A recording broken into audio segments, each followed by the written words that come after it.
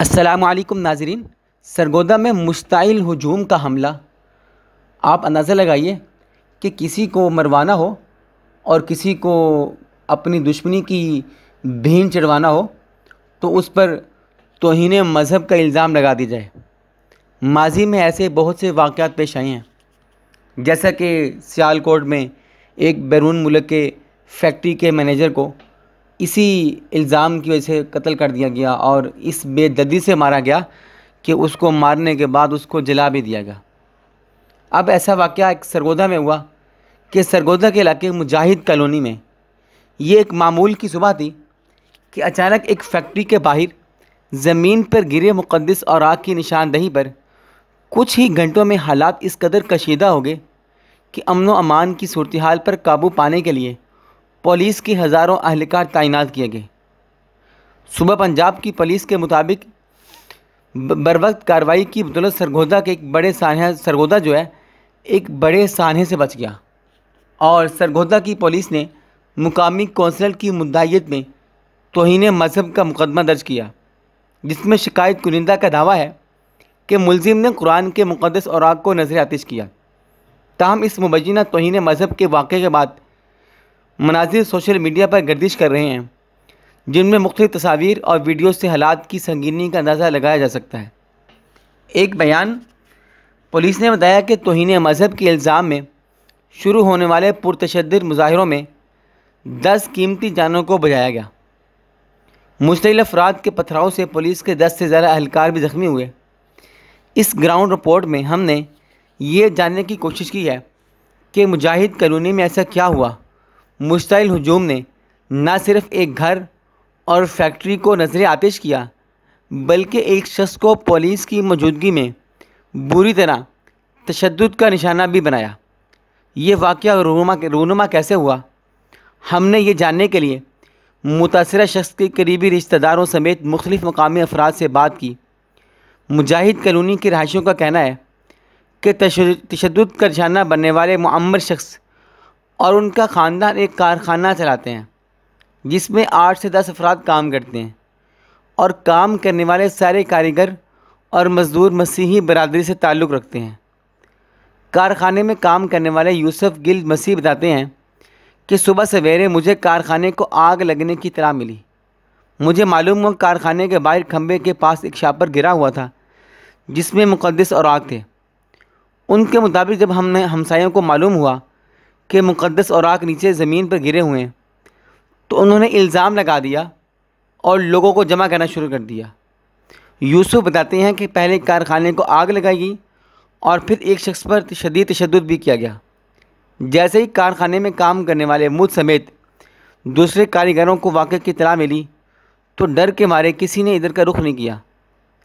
اسی علاقے کے راشی ملک افتخار بتاتے ہیں کہ جس شخص پر توحید مذہب کا الزام لگایا جا رہا ہے وہ ایک ایسے خاندان سے تعلق رکھتے ہیں جو کسی طرح بھی مذہبی فرقہ واریت کا حامل نہیں۔ یہ سادہ لوگ لوگ ہیں اور اپنے کام سے کام رکھتے ہیں۔ ان کے مطابق فیکٹری کو نظر آتش کیے جانے کے دوران شدید تشدد کا نشانہ بننے والے شخص کے گھر کے باہر لوگ جمع ہوتے چلے گئے۔ ان کا بیٹا گھر سے باہر نکلا اور اس نے کہا کہ اگر اس کے والد سے کوئی گستاخی ہوئی ہے تو اس کی معافی مانگتے ہیں۔ مگر لوگ بہت مشتعل تھے۔ ملک افتخار نے بتایا کہ کارخانہ جلنے اور واقعے کے لگ بھگ بیس سے پچیس منٹ بعد پولیس آ گئی۔ پولیس نے لوگوں کو سمجھانے اور منتشر کرنے کی کوشش کی، مگر یہ سب بیکار رہا۔ پھر پولیس جب انہیں گھر سے نکال کر لے جانے لگی تو لوگوں نے حملہ کر دیا۔ ان کے مطابق یہ دوسرا حملہ پولیس کی موجودگی میں ہوا۔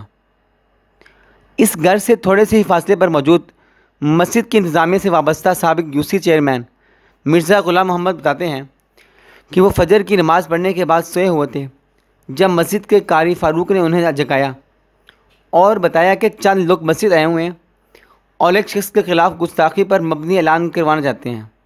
میں نے قاری صاحب کو کہا کہ آپ اعلان مت کریں، میں آ رہا ہوں۔ میں جب گلی میں پہنچا تو سات آٹھ سو لوگ جمع تھے اور سب کے سب مشتعل تھے۔ اس وقت ڈی پی او سمیت پولیس موجود تھی۔ میں نے ڈی پی او کو بتایا کہ یہاں کا سابقہ چیئرمین ہوں اور لوگوں کو سمجھانے کی کوشش کرتا ہوں، مگر کسی نے ایک نہیں سنی۔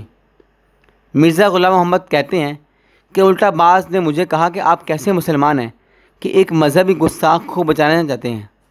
میں نے قاری فاروق کو کہا کہ آپ تقریر کریں اور جس میں کہیں کہ قانون کو اپنا کام کرنے دیا جائے، سب لوگ گھروں کو جائیں۔ مگر قاری فاروق کی تقریر پر بھی کسی نے کان نہ دھرے۔ اسی دوران شہر بھر سے مختلف مسالی کی علماء کرام آگے، مگر ہجوم نے ان کی بھی نہ سنی۔ غلام محمد مزید بتاتے ہیں کہ پولیس نے ہجوم کو منتشر کرنے کے لیے آنسو گیس کا استعمال کیا۔ پولیس کی موجودگی میں اس شخص کر، اس شخص پر تشدد بھی کیا گیا، جس پر توہین مذہب کا الزام لگایا جا رہا تھا۔ حتیٰ کہ اس سے قبل پولیس کئی گھنٹوں تک مظاہرین کو سمجھانے کی کوشش کرتی رہی۔ کہ ملزم کو قانون کے مطابق سزا دی جائے گی۔ غلام محمد سمیت کئی علاقے مکین سمجھتے ہیں کہ ملزم کا تعلق ایک پڑھی لکھی اور آسودہ حال فیملی سے ہے۔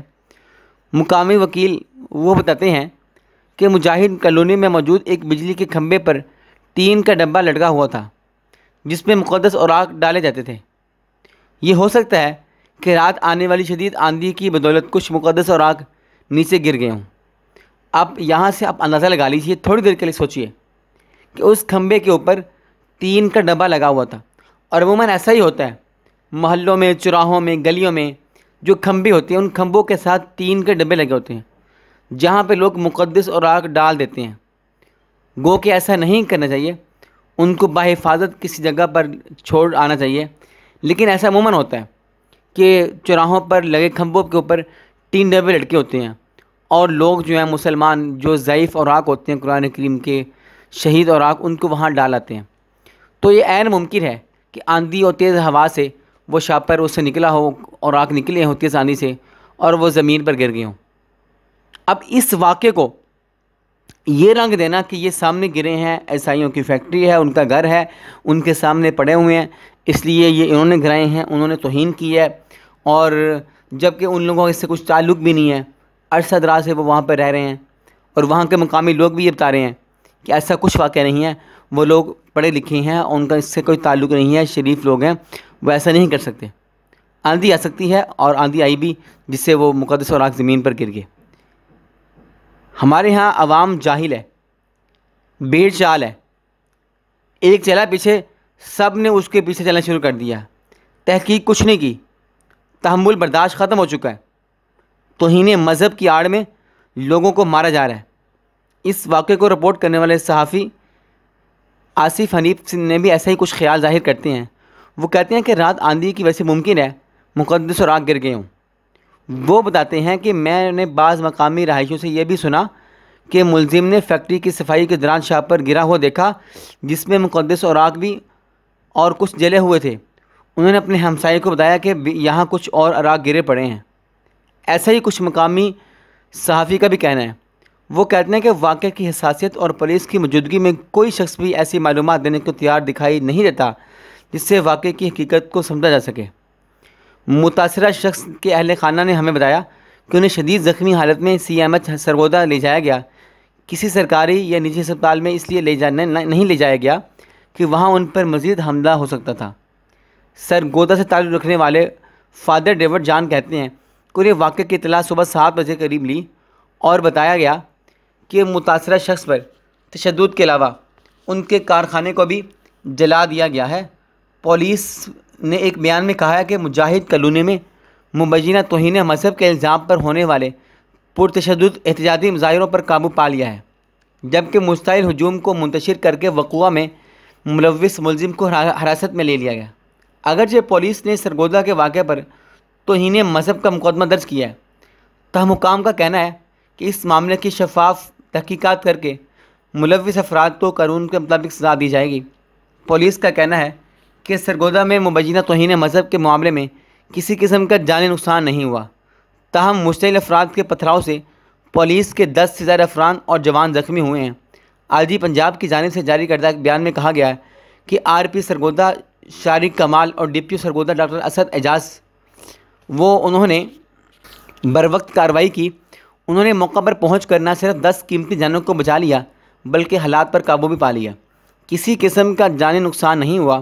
مشتعل افراد کے پتھراؤ سے پولیس کے دس سے افراد افراد اور افسران نوجوان زخمی بھی ہوئے۔ اس بیان کے مطابق سرگودا پولیس نے اپنی جان داؤں پر لگا کر فیملیز کو ریسکیو کر کے ہجوم سے نکالا۔ پولیس کے مطابق بروقت کارروائی کی بدولت سرگودا بڑے سانے سے بچ گیا۔ پولیس نے اپنے پیغام میں کہا ہے کہ تمام مسیحی افراد کو پولیس اور انتظامی اداروں نے بخوبی انداز میں ریسکیو کر کے محفوظ مقام پر منتقل کیا۔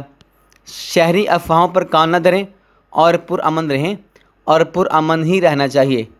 کسی کی جان بہت قیمتی ہوتی ہے۔ عین ممکن ہے کہ ایسے ہوا سے بھی وہ عراق اڑ سکتے ہیں۔ اس لیے معاملے کی تحقیقات کر کہیں ایسے مشتعل ہو کر اور لوگوں کو مار دیا جائے، قانون کو ہاتھ میں لیا جائے، یہ بہت ہی بڑی کم عقلی ہے۔ اپنی رائے کا اظہار کومنٹ میں ضرور کیجیے گا۔